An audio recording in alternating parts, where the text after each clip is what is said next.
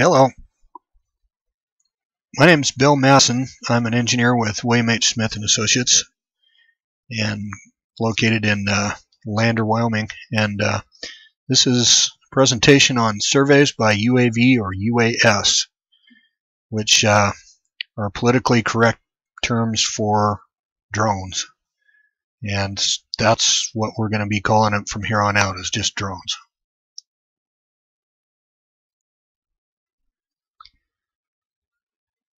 Before about 1980, surveying really hadn't changed much in the last 150 years or more.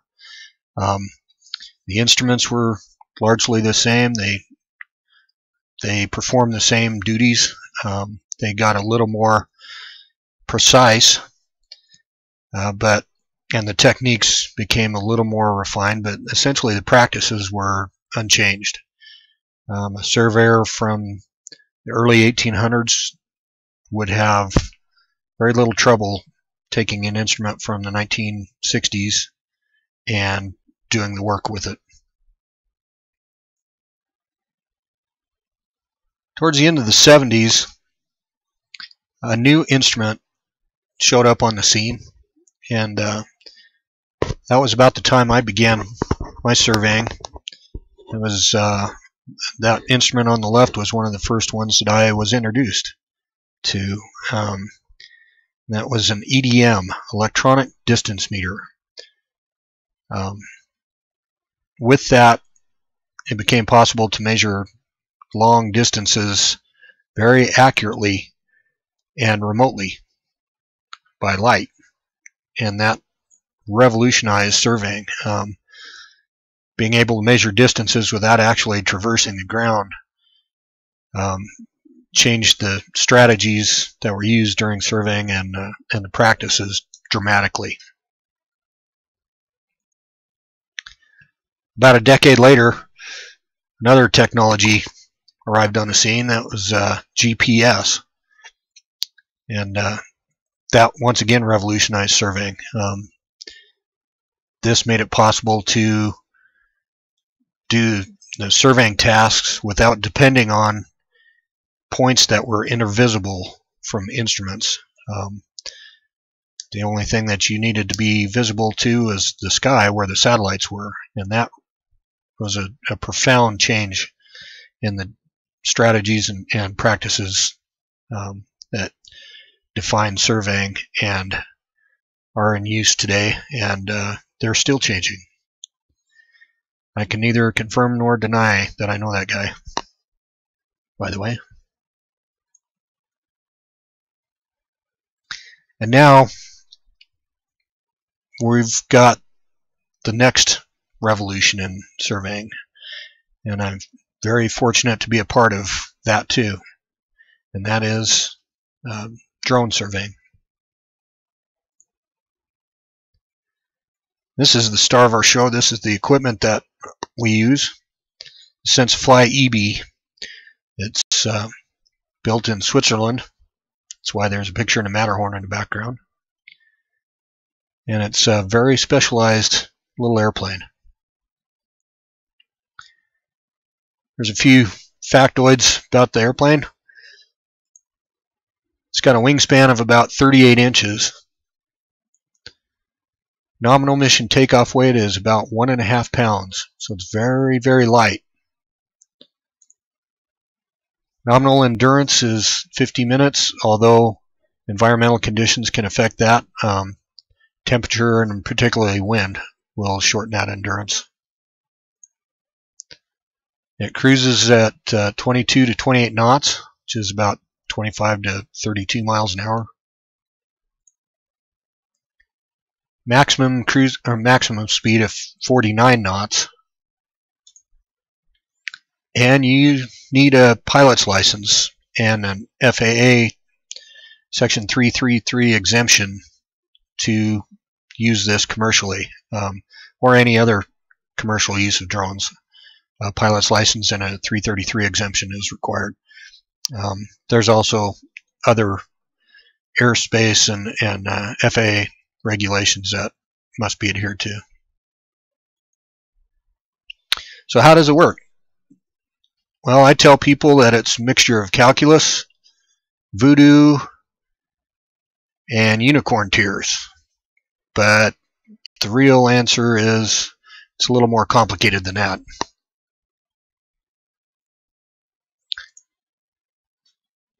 So the eBee uses a sophisticated automation software package, uh, 2A telemetry and remote control system that's uh, talks to my laptop on the ground while it's flying, and a high resolution onboard camera together with an onboard GPS uh, positioning system to produce geographically corrected stereo ortho photos. After the flight, the positioning data and the photos are downloaded and imported into a post-flight processing program that performs the photogrammetric calculations and uses a pixel matching technology to transform the photopixels into discrete, color identified, geographically referenced data points representing the photograph surface. Those are points that have coordinates attached to them as well as uh, as color um, identifiers. So this results in a point cloud that can be used to build a digital terrain model um, and uh, a virtual model of the surfaces that you flew over. And uh, that can be used, that can be exported into CAD programs or GIS uh, programs and used for designing or mapping or uh, analysis or measurement or any number of things. So here's take look at a takeoff. Performs several onboard checks to let you know when it's ready to take off and uh, and you just pitch it in the air and it's on its way to its first waypoint that's been programmed into it.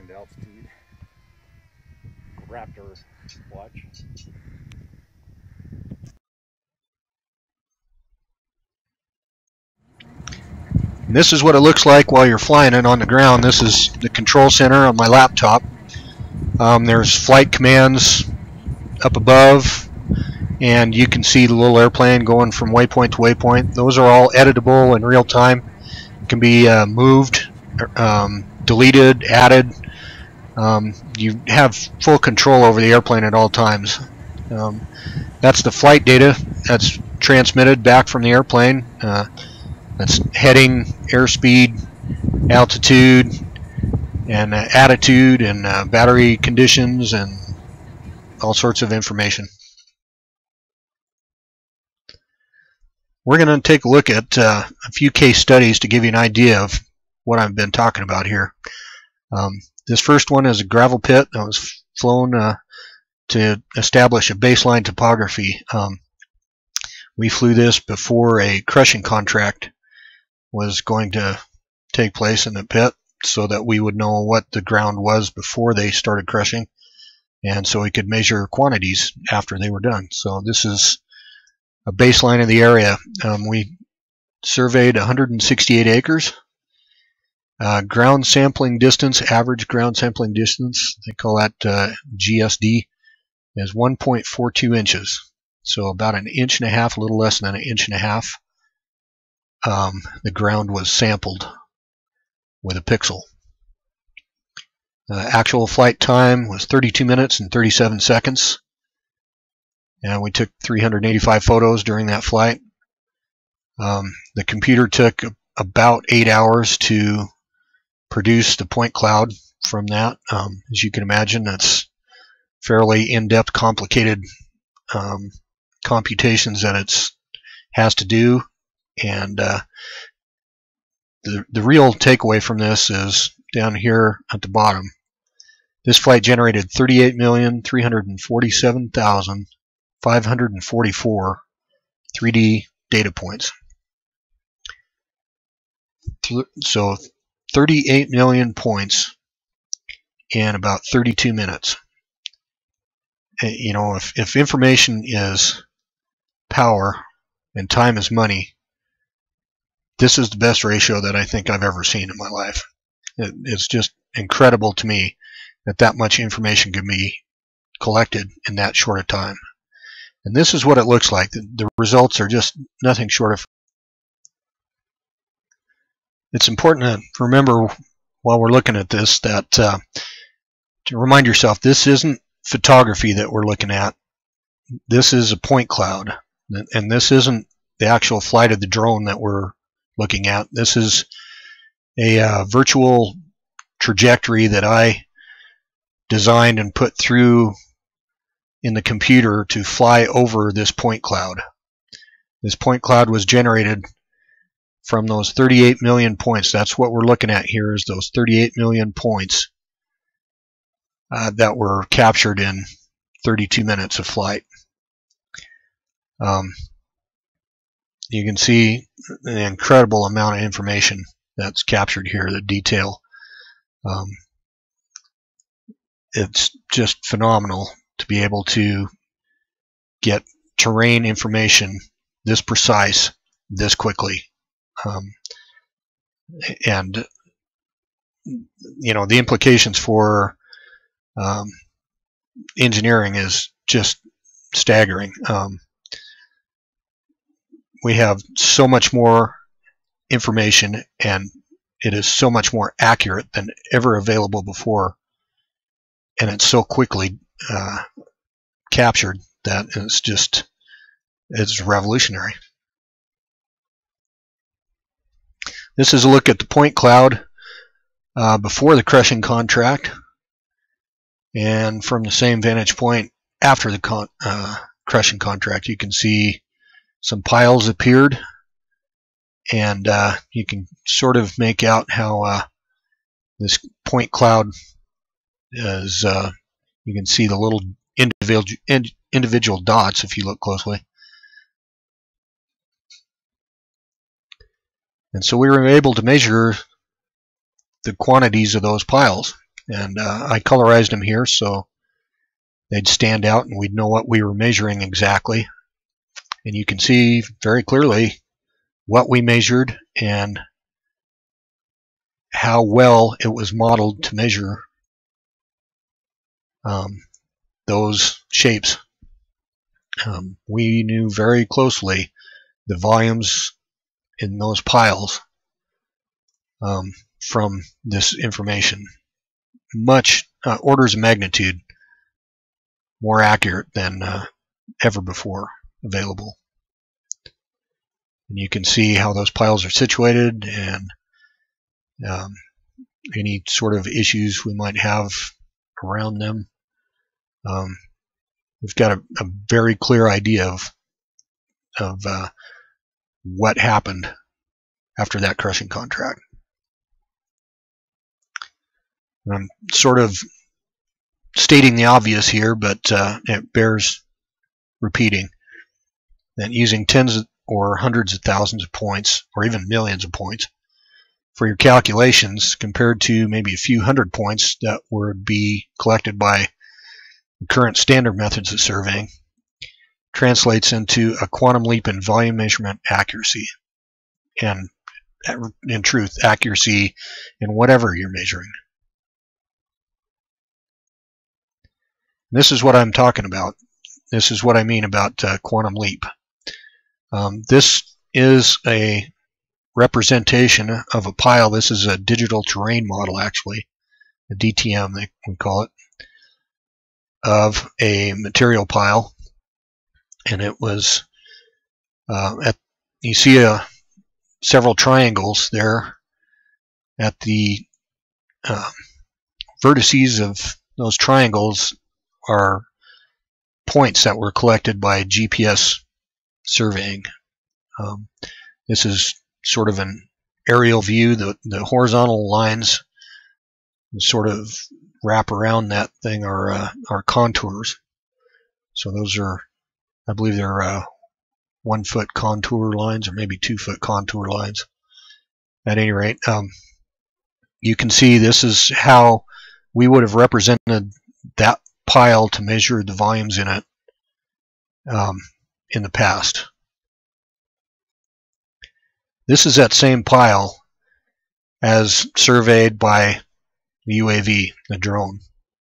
And you can see it's much more accurate. Um, all of the nuances of the pile are captured. You can see vertical surfaces, um, little ridges.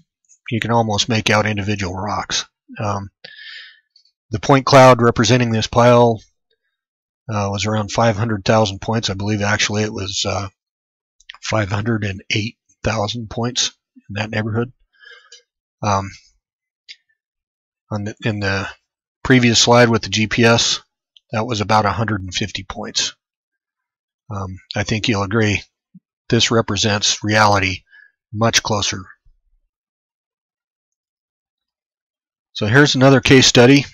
Um, this is a landfill that we flew to just uh, get a photographic record of the current conditions. Um, we weren't actually interested in the topography or anything, although we did collect, uh, uh, generate a point cloud from this. Just since we flew it, we might as well get the data.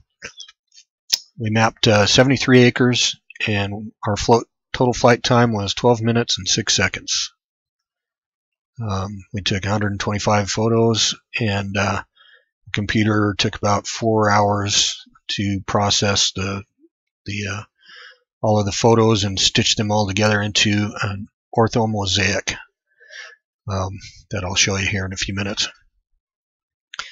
Um, just in that 12 minutes, though, we generated 22 million points. This is a Google Earth image of the uh, the landfill. Um, this is if you called up Google Earth on your computer and navigated here and looked at it, this is what you would be seeing. This is our ortho mosaic that we generated from our flight. And I just dropped it into uh, Google Earth and overlaid it in there and you can see that it fits perfectly. Um, it's uh, much better resolution than the satellite imagery though. Here's an example of that resolution, of the photo resolution.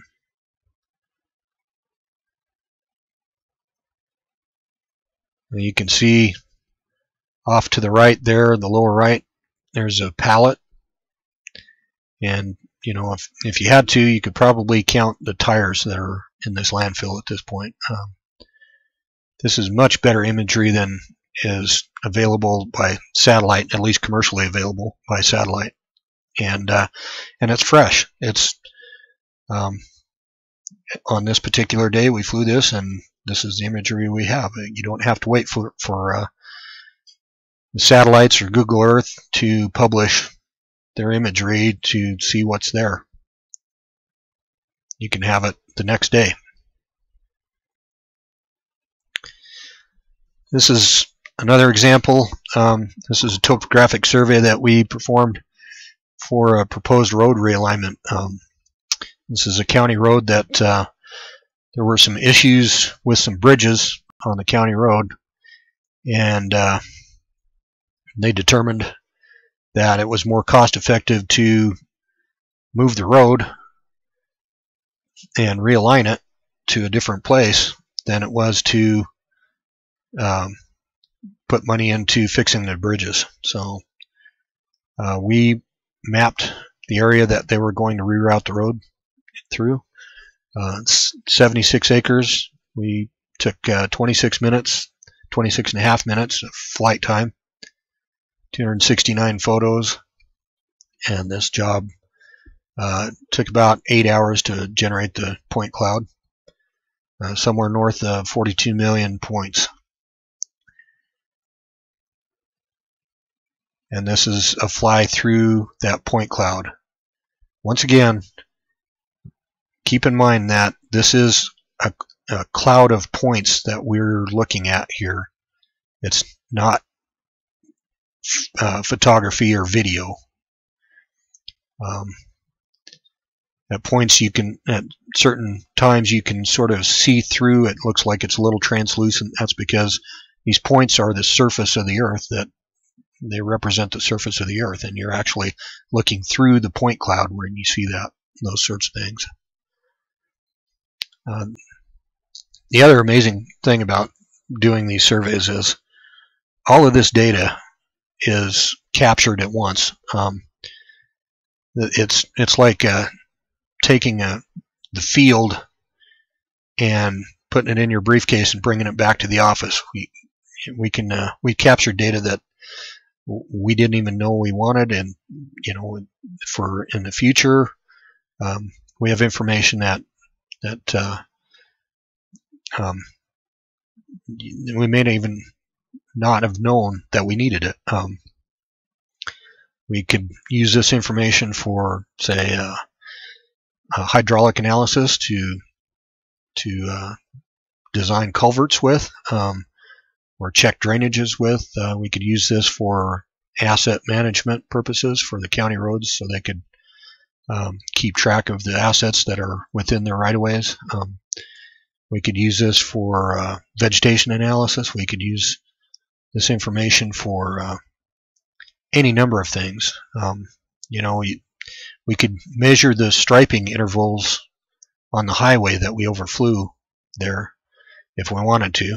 Um, that's all information that's just captured in less time than it takes to eat a lunch.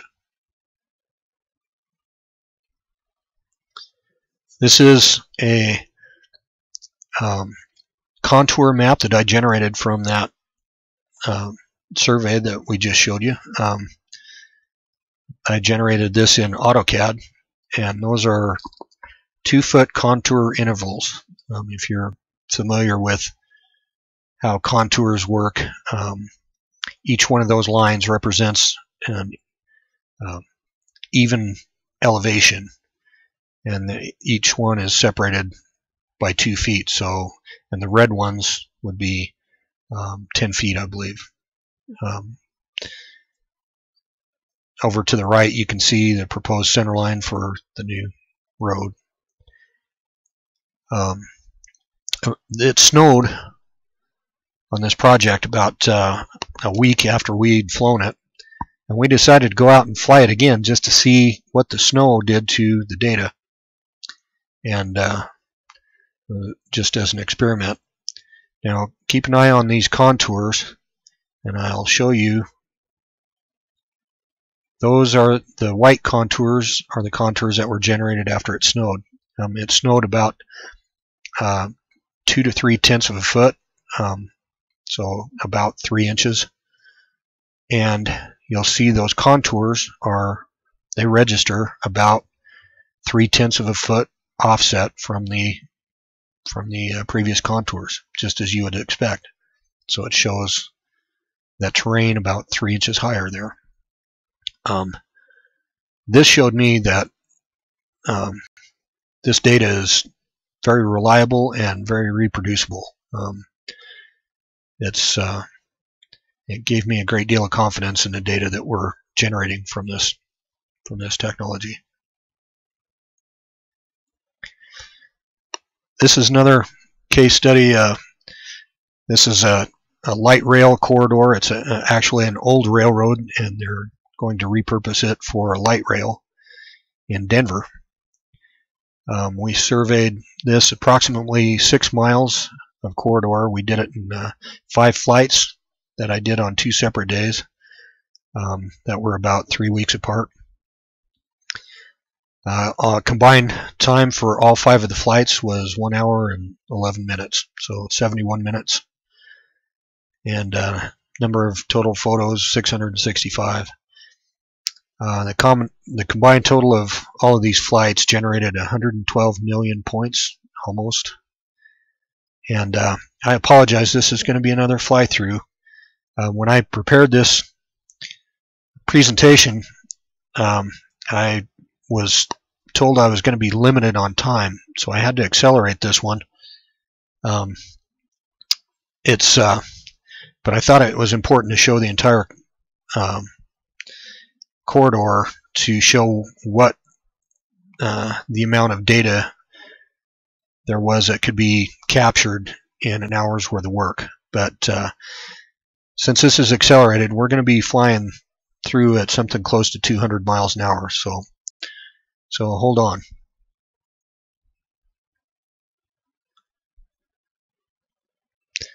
This is traveling from south to north.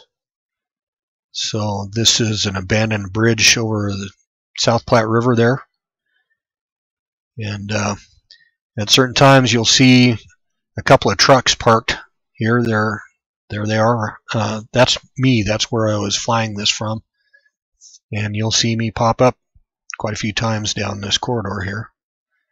Um, this is 88th and Welby that we just crossed there. Um, you can see all of the terrain that was captured here. This saved weeks and weeks of surveying along this corridor. There I am again. That's Thornton Parkway that we just crossed there. And uh, there I am again. I believe that's 104th there. That's Colorado Boulevard off to the right that we passed there. And we're coming up on some active construction area there, so we're flying through some equipment and stockpiles. We have all the volumes of the stockpiles, by the way. Um, if anybody cares to know what was available in those stockpiles on that date, um, we have it there. I'm very thankful that we could survey that very large fill area there by a drone and so I don't have to walk up and down those slopes. So there you have it. Six miles of railroad corridor in just over an hour's worth of work.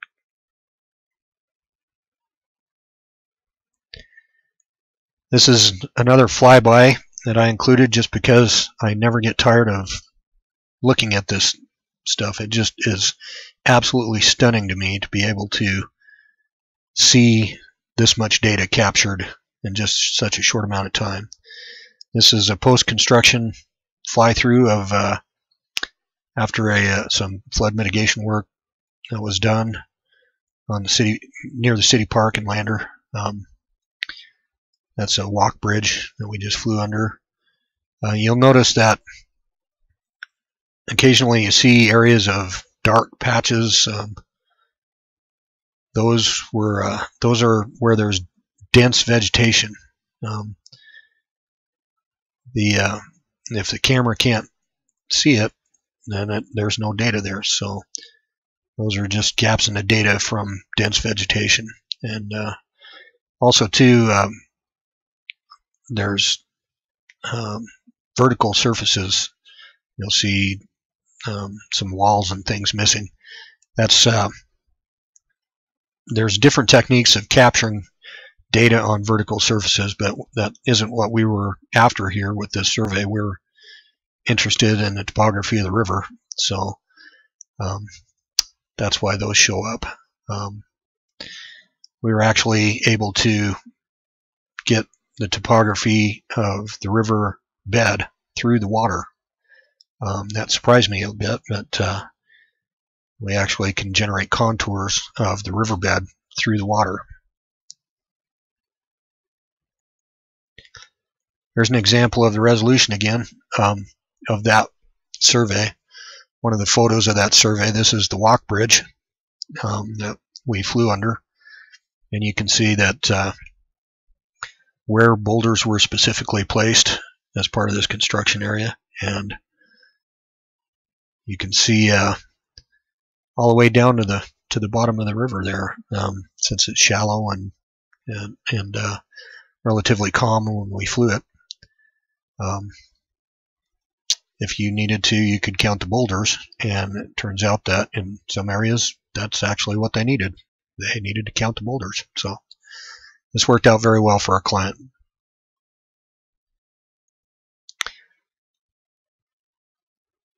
This is uh, a county road that we uh, flew to just photograph um, so we could get a photographic record of uh, condition of the road. Um, it's 1.8 miles and uh, we also wanted to demonstrate that we could uh, survey on long, narrow corridors efficiently. So this was uh, 11 minutes, 17 seconds of flight time to generate the uh, ortho photo mosaic strip that follows this road. Um, the road actually is uh, in the upper right hand corner of this photo. This is Google Earth photo. Um, the road runs from that intersection south and sort of curves around to the east and ends on the bottom right where there's kind of a Y intersection there. This is the photo mosaic that we generated um, and overlaid into Google Earth there of that road. And here's an example of the resolution for this uh, of that survey. You can see uh, for the county road engineers, um, having this information is is uh, really valuable. Uh, we can see conditions of culverts here. Um, there. Um, the one on the right is actually a head gate, so we can tell the condition of the head gate and then the condition of the ditches there. We can tell the condition of the cattle guards, how full it is, uh, what the conditions of the wings on the cattle guards are. Um, we can see some distresses on the road. And uh, here's another view of the uh, road service and you can see that we can actually measure the distresses on the road. For example, we can identify and measure transverse cracking in, on the road.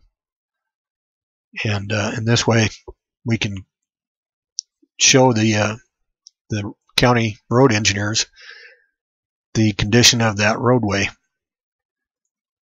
You can see they have some edge cracking issues there that we can identify.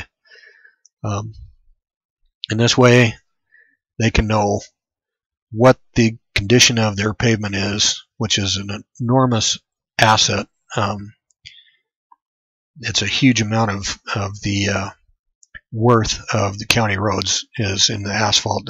That's by and large the most expensive asset that they have on their inventory. So uh, knowing the condition of it and being able to marshal their resources to deal with the the uh, repairs or the the maintenance of those roads efficiently is critical, and this is a valuable tool for that.